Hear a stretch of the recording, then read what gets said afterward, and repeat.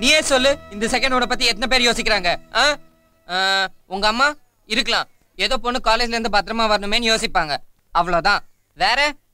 உங்க அப்பா தம்பி ஃப்ரெண்ட்ஸு ரிலேட்டிவ்ஸு எப்பவுமே நான் மட்டும்தான். தோ இந்த செகண்ட் கூட நீ ஒழுங்கா நடந்து வீட்டுக்கு போகணுமேன்னு யோசிக்கிறேன். உன் விரல்ல ஒரு கல்லு கூட எடறக்கூடாதேன்னு யோசிக்கிறேன். தோ எதிரில் வரானே அந்த பையன். உன்னை பார்க்க கூடாது உன் மேல வந்து வரசக்கூடாதுன்னு யோசிக்கிறேன். ஏய் நான் ஓர்மா போட. ஏய் என்ன முறைக்கிற? மூஞ்ச பேத்துருவேன். என்ன? ஐயா கும்முன்னு ஒரு ஃபிகர் ரோட்ல வரக்கூடாது.